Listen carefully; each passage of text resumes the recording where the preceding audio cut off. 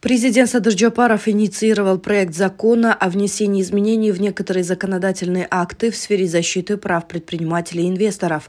Концепция проекта закона направлена на усиление защиты предпринимателей и инвесторов, осуществляющих экономическую деятельность в Кыргызстане.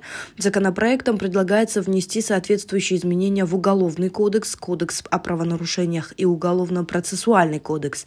Так, Уголовный кодекс предлагается дополнить новой статьей 338 предусматривающие ответственность за воспрепятствование законной предпринимательской деятельности. Кроме того, в связи с усилением ответственности за воспрепятствование законной предпринимательской деятельности предлагается размер штрафа, предусмотренного статьей 436 Кодекса о правонарушениях, увеличить со 100 до 150 расчетных показателей.